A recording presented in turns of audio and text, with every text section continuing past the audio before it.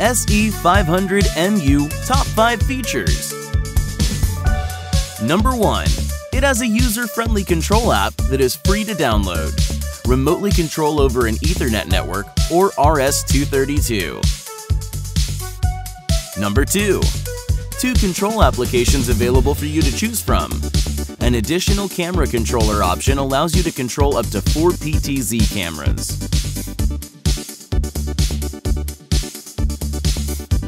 Number 3. The program output is uncompressed, up to 50 and 60 frames per second. Number 4.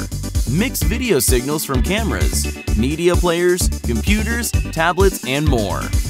It can automatically detect video source and let you quickly switch from one input to the next. Number 5. It has a Luma key for graphic overlays, split screen for podcast-style interviews, and picture-in-picture -picture for PowerPoint presentations. Unleash your creativity with one touch.